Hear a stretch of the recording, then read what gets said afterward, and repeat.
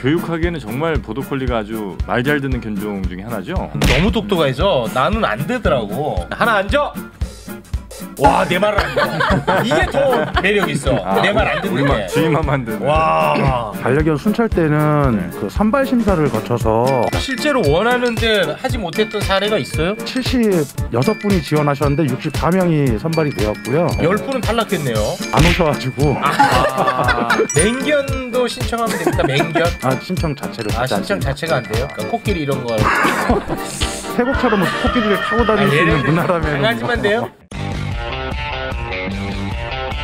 네, 우리 최욱 씨가 아, 또 반려동물 좋아하지 않습니까? 정말 좋아합니다. 그러나 안 키우죠. 그렇습니다. 네. 아이들을 위해서 저 그 반려동물들을 행복하게 해줄 자신이 없습니다. 음. 나의 행복을 위해서 음. 저들을 희생 삼을 수 없습니다.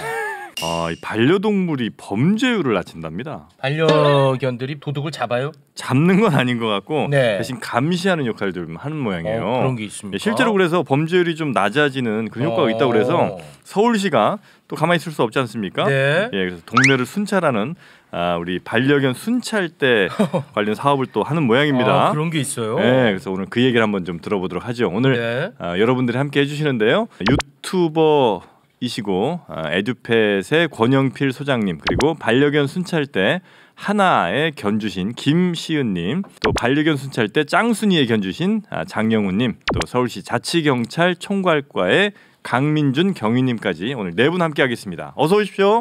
네, 반갑습니다. 어서 오십시오. 아주 예쁜 음, 강아지들이 와 있네요. 반려견들도 와 있습니다. 네, 참고로 이제 제가 키웠던 종류예요. 아저 보도콜리라고 예전에 네, 지능 지수 1위에 음. 빛나는 보도콜리 양모리개. 근데 상당히 예쁘게 생겼네 저게는. 음. 반려견 순찰대라는 사업이 어떤 건지 일단 기본적으로 정보를 한번 좀 들어보면 좋겠습니다. 반려견 순찰 때는 2021년 7월 1일 자치경찰제가 시행됨으로써 어, 지방 행정과 치안 행정의 연계를 통해서 우리 주민들이 네. 실질적으로 참여할 수 있는 정책이 무엇이 있을까 이렇게 고민을 하다가 네. 어, 최근에 반려견 인구가 많이 늘어났잖아요. 그렇습니다. 그래서 이제 반려견에 대한 또 올바른 문화 정착과 네. 주민이 참여해서 우리 동네 범죄 예방이나 그런 것들을 좀 지켜보자는 네. 취지에서 반려견 순찰대를 예, 계획해서 예, 시행하게 되었습니다. 그러니까 이 반려견 순찰대가 지역 곳곳을 이게 돌아다닙니다. 범죄자들을 물어요? 아, 물진 않고요. 아, 일상적인 산책을 하면서 네. 반려 견주가 네. 생활 안전에 미해가 되는 그런 것들을 발견하면 신고를 하는 어. 역할을 하고 있습니다. 거기에서 네. 강아지의 역할이 뭐예요? 반려견 같은 경우에 이제 후각 기능이 네. 뭐 일반 사람보다 한 만 배 좋다고 하더라고요. 네. 그래서 만약에 어, 화재 현장이 있다, 그럼 뭐 그런 냄새를 맡을 수 있을 것도 어. 기대도 하고 반려견을 산책하시는 분들의 럿지 네. 효과라고 할 수 있죠. 뭐 이렇게 순찰대라는 역할을 주면 보다 아. 더 이런 공익에 참여해서 뭐 긍정적인 효과가 아, 그러니까 반려견이랑 네. 산책하는데 하는 김에 그런 위험 요소를 좀 발견하면 좋겠다. 이렇게 보면 되겠네요. 네, 맞습니다. 예, 네. 뭐이 강아지들이 다니면서 마약을 탐지해서 신고를 한다든가 그런 거는 아니고. 아, 네, 말하면 네. 이런 거죠. 아마 동네에서 제일 많이 싸돌아다니는 사람이 누굴까? 사실은 어떻게 보면은 반려 견주들이 동네를 제일 많이 돌아다니거든요. 구석구석. 아, 어두운 밤에 어떤 여성이 귀가를 하고 있어요. 음. 놀이터 앞인데 아무도 없고 불이 꺼져 있고 혼자서 걸어가는데 뒤에서 낯선 사람이 뚜벅뚜벅 따라와요. 어. 아무도 없어요. 정말 불안한데 뒤에서 옆에서 어떤 반려견주가 반려견을 데리고 오고 있어요. 어. 그러면 이 사람은 어느 정도 마음이 놓일 거 아니에요. 그렇지. 이제 그런 효과를 좀 더 이제 저희가 제도화해서 아. 가져보자 이런 취지인 것 같아요. 아, 우리 저 선생님은 짱순이 견주. 네 맞습니다. 짱순이랑 같이 이제 돌아다니고 계시는 거죠. 네 열심히 돌아다니고 있습니다. 아, 그 원래는 그럼 뭐 하시는 분이에요? 아, 어, 지금은 이제 강동구 보건소에서 일을 하고 있습니다. 아, 보건소에서 일을 하시는데 본업이 네, 있고 네. 이거는 약간의 어떤 그 봉사 개념으로 네. 함께 하신다는 거군요. 네. 네, 순수 그냥 자원봉사 같은 아, 일이고 그럼 표식 같은 네. 거는 어떻게 해야 되는 겁니까? 이렇게 이제 반려견 순찰대라고 이제 저희 반사 띠가 달린 아. 마크를 항상 붙이고 다니고 네. 사람들 눈에 잘 띄게 하고 좀 있으면 저희 조끼도 입고 다닐 그럴 예정이라서 네. 네. 아, 우리 저 짱순이가 상당히 그 기품이 있는데. 올해 16살 이제 사람 나이로 치면 거의 80대는 할머니시거든요. 네, 예의를 좀 돼요. 지켜야 될 것 같네요. 건강은 네. 괜찮을까 좀 걱정도 되네요. 어, 지금 어, 사실 귀가 잘 안 들려요. 이제 거의 음. 이제 큰 소리가 안 들 리고 저희가 아. 말하는 것도 아마 지금 조용한 정막 상태일 정막. 상태구나. 되는데 다행히 다리는 건강해서 네. 하루 두 시간씩 매일매일 산책은 잘 하고 네, 있습니다. 지금 저를 보고 있는데 너 이 자식 인사 안 하냐 이런 표정입니다. 어린 것이 네, 아유 오셨습니까. 장수님 고맙습니다. 그렇게 이제 온 동네를 계속 이렇게 돌아다니시는 것만으로도 어쩜 예방 효과도 있을 수도 있고 예방이 있을 수 있을 것 예, 같아. 그리고 이제 어떤 뭐 밤늦은 길, 귀갓길에 안심되고. 예, 여성분들 좀 안심할 수 아. 있는 이런 정도가 이제 기대할 수 있는 효과라고 생각하면 되겠군요. 그리고 말을 좀 많이 해도 되나요? 그리고 아, 뭐, 해보세요. 네. 네. 네 우리가 차를 타고 여행할 때랑 오토바이를 타고 여행할 때랑 걸어서 여행할 때랑 각자 보는 풍경이 다르잖아요. 그렇습니다. 그렇기 때문에 우리가 반려견을 데리고 거두를 때 보는 풍경은 또 달라지거든요. 아, 더 골목골목을 더 상세히 볼 수 있게 되고 어디에 더 뭐 땅에 있는 위험한 요소들이 없는지 더 또 다른 시각으로 볼 수 있게 되더라고요. 아. 그래서 그런 면에서 좀 더 효과가 따로 있는 것 같습니다. 네. 그리고 또 한 분의 견주님이 나오셨습니다. 김시은님 저의 반려견 이름은 하나이고요. 하나. 네, 하나는 이제 다섯 살이 되어가는 네. 암컷 보더콜리입니다. 아, 이 집에서 키우시는 거예요? 네, 야, 이 보도콜리는 활동량이 어마어마해갖고 집에서 키우기가 쉽지 않을 텐데. 네 거의 집에 없어요. 그럼 아, 산책을 많이 계속. 산책하는 거요? 네, 출퇴근도 같이 할 수 있어서 출퇴근도 같이 하고 아침, 점심, 저녁으로 산책을 다 따로따로 나가줍니다. 아니, 우리 선생님 무슨 일 하시는데요? 저는 이제 반려견 교육 쪽으로 아. 일을 하고 있어요. 아, 그러시구나. 교육하기에는 정말 보도콜리가 아주 말 잘 듣는 견종 중에 하나죠. 그렇진 않습니다. 아니에요? 너무 똑똑해서 어려워. 훌- 아, 우리 그래요? 훈련사가 나와 계신데 훈련성이 아시죠? 좀 떨어지죠?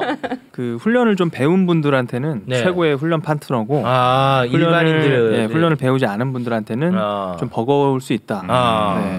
음. 너무 똑똑해서 나는 안 되더라고. 아 그래? 어, 자기가 자꾸 판단해요. 지금 앉을 때 아닌데 안 앉아요. 근데 이제 이런 친구도 너무 스마트해서 어. 어, 사람이 좀 더 먼저 그 예측을 하고 행동을 해야 되는. 그래서 이제 좀 더 좀 더 스마트해져야 돼요 사람들이. 아 사람이 그리고 이제 워낙 그 운동 기능이 뛰어난 견종이기 때문에 네. 그만큼 사람들이 좀 센스가 있어야 돼요. 아. 운동 감각도 좀 있어야 되고. 아, 네. 그러면 이 교육을 좀 해야 되나? 그러니까 순찰견을 하려면 반려견 순찰 때는 네. 그 선발 심사를 거쳐서 통관 반려견과 반려견주가 활동에 참여하는데요. 그 기준이 뭐예요? 뭐 개물림 사고라던가 뭐 이런 아. 거 예방을 위해서요. 네. 어떠한 좀 통제권 내에서 화- 같이 산책을 할 수 있는 그런 반려견을 좀 우선적으로 아. 선발을 하고 있습니다. 실제로 원하는데 하지 못했던 사례가 있어요? 이번 강동구 시범 운영 때는 76분이 지원하셨는데 64명이 선발이 되었고요. 어, 네. 열 분은 탈락했네요. 그 10분이 뭐 탈락한 거 아니고 안 오셔가지고 아, 합격률이 너무 높은 거 아닌가요? 다 되는 거네. 아직 시범 운영 기간 중이어서 좀 어. 심사의 어떠한 기준을 어. 그렇게 엄격하게는 하지 않았는데 이거는 이제 네. 자치구 여덟 곳을 추가로 확대 운영하는 과정에서는 좀 더 엄격한 심사와 그리고 실제로 한 2km 정도 산책을 네. 한번 하면 해 보면서 아. 반려견의 그 행동이라던가 음. 또 어떤 상황에 있어서 반려견주가 대처를 할 수 있는 뭐 신고를 잘 할 수 있는지 뭐 그런 것들을 네. 종합적으로 고려해서 선발할 네네. 계획입니다. 아, 그러니까 일단 견주 말을 좀 잘 듣는 게가 우선이. 되겠군요. 견주가 막 끌려다니는 경우 많거든. 산책하는 거 보면. 음. 그리고 실제로 보면 저 주인 말을 잘 듣는지 한번 좀 볼까요 그러면? 아, 보도콜리 이 통제 좀 어렵거든요. 하나, 앉아, 앉아. 오, 앉았어. 와. 손, 손, 와, 손이네. 안 됐어. 오, 진짜네. 오. 어, 와, 이뻐 이거. 야, 저거까지. 와, 대단합니다. 아, 잘했습니다. 이거 지금 뭐 알고 하는 거예요? 아니면 그냥 뭐 먹이 주니까 하는 거예요? 보호자하고 유대 관계가 네. 좋기 때문에 아, 그렇습니까? 어, 뭐 이럴 때는 아무래도 좀 동기물이 있잖아요. 어. 네, 동기물이 있기 때문에 네. 뭐 충분히 어, 훈련을 좀 배우신 분이기 때문에 어. 충분히 할 수 있다. 요 앞에 갔다 와 이런 거 할 수 있습니까? 가져와는 할 수 있을 거예요. 가져와 한번 한번 가져와 봐요. 야, 이거 네. 어려울 것 같은데. 하나 내려. 어, 내려갑니다. 와, 진짜 말 잘 듣는다. 가져와. 어. 가져올까요, 진짜? 오. 와, 진짜 똑똑하네. 와. 아니, 얼마나 함께 있었습니까? 6개월 때 하나를 이제 입양을 해서 네. 네, 5년째 같이 사니까 한 4년 반 정도 와. 지냈죠. 너무 사랑스럽겠다, 진짜. 네, 감사합니다. 아, 똑똑하네. 하나 앉아. 와 내 말을 안 들어. 이게 더 매력 있어. 내말 안 듣는 아, 우리만 게. 주의만 만드는. 와. 자 우리 또 짱이가 또 네. 물론 어르신한테 뭐 시키고 좀 그런 게 네, 네. 예의는 아닙니다만. 이미 누워 계셔 지금. 네. 뭐 어떻게 좀 보여줄 게 있습니까? 아 그 뭐 짱순이는 이제 귀가 잘 안 들리지만은 네. 지네 이제 수화라고 하죠. 손짓 몸짓으로 아, 어느 정도는 그래요? 소통을 해요. 그래서 잠깐 그냥 보여드리자면은 네. 짱순이 잠깐만 귀여워. 어. 그냥 먹는 거잖아요. 손은 줍니다. 그래도 그냥 먹어야 되니까. 네. 아, 먹어야 네. 되니까. 아니 그 우리 선생님이랑 16년을 함께 하신 거예요? 아니면 이제 음. 나이가 먹은 다음에 입양하신 아니요, 거예요? 저는 이제 16년 전에 이제 50일 생후 50일 때 그때 처음 데려왔는데 와. 그 당시에는 너무 교육법이나 이런 것들이 정보가 아무것도 없었어요. 지금처럼 좋은 네. 훈련 사분도 없고 이래서 그 네이버 지식인에 개를 어떻게 키워야 되냐 검색을 하면은 답변이 뜨는 게 어, 신문지나 페트병으로 말 잘 들을 때까지 때리세요. 이렇게 답변이 아, 나오던 네. 시절. 때가 옛날 있었죠. 옛날입니다. 네. 너무 화내지 마세요. 옛날입니다. 네, 그래서- 네. 둘 사이에 네. 정말 어마어마한 정이 있겠네요. 어, 사실 부모 자식 간도 거의 한 10살 이후 되면은 따로따로 잠을 자고 그러잖아요. 네. 근데 16년 동안 가든 한 입을 넣고 자고 이러니까 그래요? 와. 거의 정이 어마어마하게 많이 쌓였죠. 네. 그 새로운 가족이 생기기도 하고 뭐 이럴 수 있잖아요. 여자친구가 몇 번 있어서 어. 그 여자친구가 걔를 이뻐해줬거든요. 음. 몇년 뒤에 우연히 지나가다가 그 여자친구를 본 거예요. 아 헤어진 다음에 네, 근데 그 여자친구가 결혼했다라는 얘기를 제가 들었었는데 음. 이 친구가 몇 년 만에 봤는데 여자친구를 알아보고 막 아. 쫓아가는 거예요. 물어야지. 막 반갑다고 쫓아가는데 그 옆에 그 남편 되는 아. 분이 어, 있었어요. 남편 물어야지. 그래서 이거를 저는 이 순간에 막 아는 척을 우와. 상황이 곤란해지잖아요. 어. 얘는 너무 반갑다고 쫓아가고 아. 꼬리를 치고 있는데 그래서 아, 죄송합니다. 얘가 아무나 좋아해서요. 하는 아. 가정이 그. 여성분은 어떻게 반응했습니까? 그냥 이렇게 어 당황해하면서 왜냐면 그 텀이 워낙 긴 시간이 지나고 난 뒤라서 아, 아 이거 드라마 같다 네. 이거는. 그래 그 이후로는 뭐 연애는 안 하시고. 아니 뭐 여러 번 했죠. 아 여러 번도 있으니까. 아 그러면은 다니다 보면은 아, 이거 서로. 어, 아는 여자. 편집해 주세요. 뭘 너무 개인적인 얘기 같아서 치부를 드러낸 것 네, 같네요. 네. 네. 아. 우리 저 훈련사님. 네. 강아지들 훈련할 수 있는 간단한 방법 같은 거 좀 알려주시면 좋을 것 같아요. 아까 이제 산책할 때 개가 견주를 산책시키는 경우가 굉장히 많습니다. 우리 이제 일상에서 보면은. 아, 산책할 때 저는 뭐 가장 중요한 게 항상 사람이 제시하는 상황을 음. 만들고 예를 들어서 뭐 소변을 반려견들이 냄새 맡으면 많이 보잖아요. 네. 네. 먼저 맡아볼까요 저희가? 우리가 먼저 맡아보는 게 아니고 어, 풀밭에 들어가기 전에 어. 앉히고 그리고 여기서 냄새 맡자라는 사인을 음. 뭐 오케이 사인을 주면 개들이 뛰어 들어가서 어. 이 후각 활동을 하다가 소변을 보고 그래야 되는데 지금 많은 보호자분들이 그냥 줄만 잡고 따라만 다니다 보니까 네. 개들이 이제 너무 오줌 싸개들이 많아요. 아, 막 온 동네 예. 다 오줌 쌉니다. 그러니까 이제 반려견을 키우지 않는 분들도 네. 미간이 찌푸려지고 음. 그리고 또 개들이 산책할 때 개들의 시야각이 약 220도에서 250도 정도 되거든요. 네. 개 시야각 내에서 사람이 좀 걸어줘야 돼요. 개들이 측면이나 약간 45도 앞에서 걷는 것까지는 괜찮은데 네. 뭐 길게 줄을 어, 자동 리드 줄 있잖아요. 아, 늘려가지고. 네, 그런 걸 써서 반려견이 너무 앞장서서 이렇게 걷게 되면 어. 돌발 상황에서 어떤 반려견 스스로 어떤 아, 제어가 잘 안될 예, 수 있겠구나. 제어가 안 되죠. 예. 어. 그렇기 때문에 그런 부분들이 네. 사소한 어떤 생활 교육들이 저는 아. 되게 늘 일상 속에서 이루어져야 된다고 생각을 해요. 그 길거리에서 그 오줌 싸고 하는 건 괜찮은 겁니까? 그 에티켓은? 그러니까 그게 뭐 전봇대나 뭐 어떤 공공 시설물에 싸는 거는 좀안 안 괜찮고 네. 그러니까 풀밭, 나무 어. 이런 곳에 보호자가 제시를 했을 때 네. 후각 활동을 하고 소변을 보게. 아, 그 여기다 싸 하면 여기다 쏩, 쌉니까? 아, 그게? 충분히 가능하죠. 어, 그게 가능해? 평소에 산책 습관을 네. 줄을 끌어당기지 않고 어. 느슨한 상태로 걷는 보행 교육이 필요합니다. 아, 그러니까 나랑 속도를 맞추면서 예, 걸을 예, 수 예. 있는. 그래서 사람을 의식을 네. 하면 행동을 조절을 하기 때문에 음. 어. 근데 이제 줄 라인이 항상 팽팽한 친구들은 거의 뭐 흥분도가 좀 높죠. 네. 네, 네. 우리 하나는 어떻게 똥오줌 가립니까?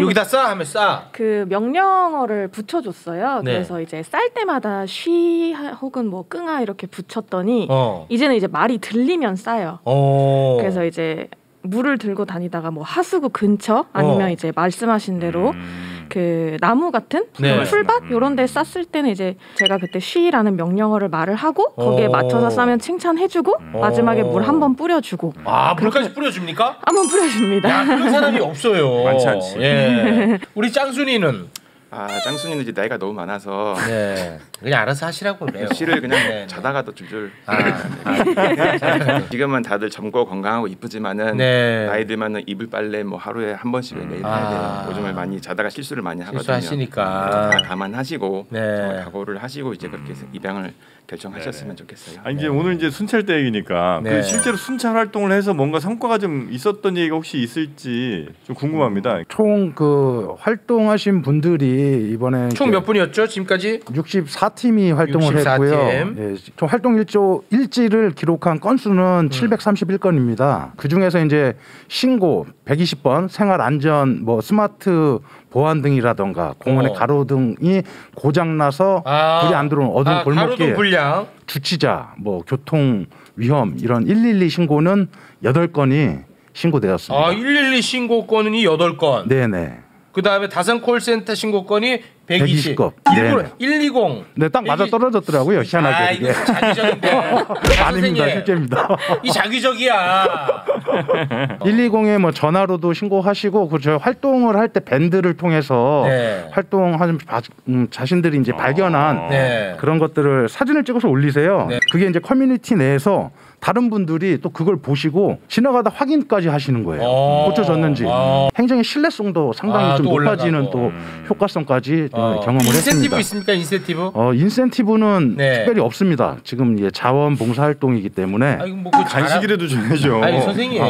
저희가 자꾸 뭐- 그런 식으로. 내년도에 네. 뭐 이제 점차 더 확대가 됐을 땐 네. 뭐 예산을 또 확보해서 네. 반려견에 대한 뭐 의료비. 뭐 예방 주사라던가 어 사료. 뭐 건강 무료 검진이라던가 어, 뭐좀 사, 사료 왜 자꾸 피해요? 사료. 네, 사료라던가 뭐 네. 간식 제공 뭐 이런 거를 조금 네. 검토 중에 있습니다 지금. 아, 개껌.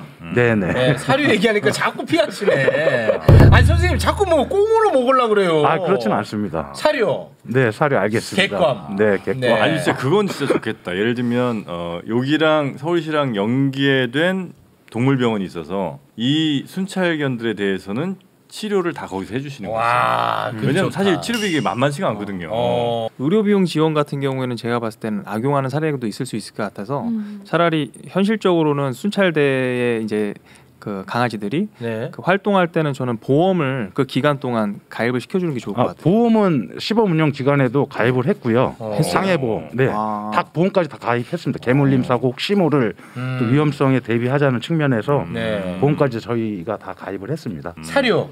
네, 사료. 개껌.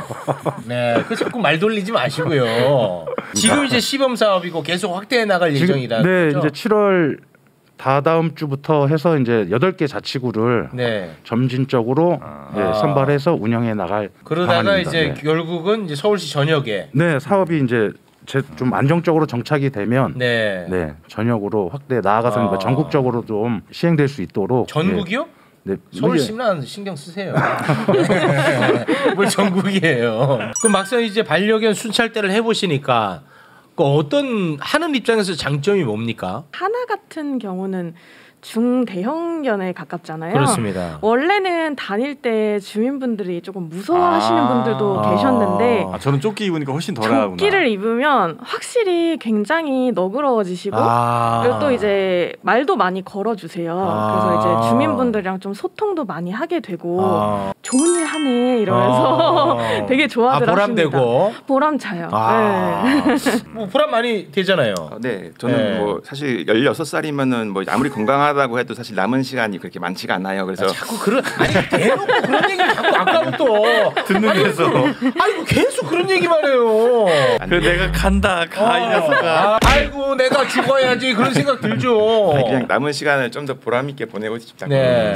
아, 굉장히 네. 공공적인 역할을 한다는 생각에 아 굉장히 좀 보람 될 것 같아요. 네. 그리고 아마 강아지 키우시는 분들이 이렇게 뿌듯한 어. 경험을 하면 없지 별로 평소에. 그러니까요. 왜늘 이제 죄인 된 느낌 그렇지. 많거든요. 네. 이렇게 뿌듯한 경험을 하면 훨씬 더 좋으실 것 같다 진짜. 네. 이런 게 이제 점점점 확대되면은 키우는 사람들도 이 강아지에 대한 책임감 더 늘어나서 음. 그렇지. 이 파양률도 또 줄일 네, 수가 네. 있고 여러모로 괜찮을 것 같다는 생각이 그래서 드네요. 이번에 확대 운영 기간 중에는 네. 그 짱순이처럼 네. 고령으로 뭐 산책이 좀 힘들다던가 음. 아니면 어디 아픈 그런 강아지 유모차를 이용해서도 산책을 다니시는 분도 네. 저희가 신청을 받아서 오, 네. 운영할 생각 도 하고 있습니다. 어. 네. 저는 조금 약간 회의적인 시각도 있습니다. 이게 음. 순찰대라는 기능이 약간 네. 범죄 예방과 방범 치안 이런 쪽에 우리가 기능이 좀 주잖아요. 네. 근데 사실 유모차를 탈 정도의 반려견을 데리고 나와서 그런 기능을 하는 거는 사실 사람만 나와도 될 수 있는 거잖아요. 그 이 분위기 또 왜 이렇게 만들어요? 아니 선생님, 아니 분위기 좀 좋은데. 아니, 그러니까 저는 확대 편성이 된다 그래서 네.